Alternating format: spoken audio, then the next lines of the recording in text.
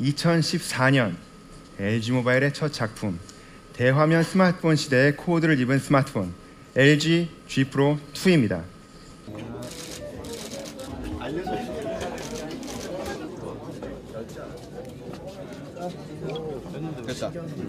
노크 코드 기능은요. 나만의 패턴을 화면에다가 설정하셔서 화면을 노크하시면 바로 홈 화면으로 넘어갑니다.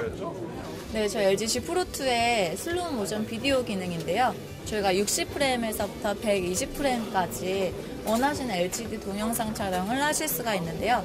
저희 타사 같은 경우에는 4분의 1배속이 지원이 되지 않지만 저희 LG G 프로2 같은 경우에는 4분의 1배속까지 원하시는 속도로 조절을 하실 수가 있어서 조금 더 느린 화면으로 원하시는 화면을 재생을 해서 보실 수가 있습니다. LGC 프로 2를 통해서 저희 기능에서 LCD, 울트라 LCD 레코딩을 기능을 설정을 한 후에 촬영한 영상이고요. 저희 모드 에 들어가셔서 매직 포커스를 설정을 하신 후에 저희 촬영 버튼을 눌러주시면요.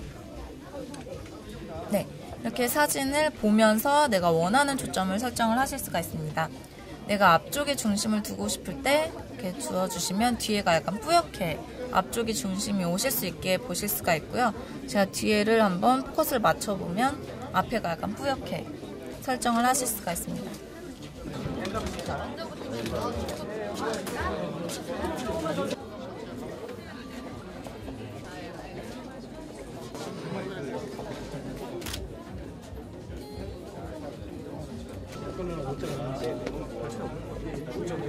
예.